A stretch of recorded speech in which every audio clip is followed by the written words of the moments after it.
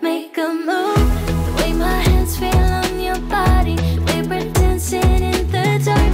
With every move I make, you're falling. The way my lips feel on your body. 시청자 여러분 너무너무 감사드립니다. 이벤트 참가를 하시고 프랑스를 누리세요.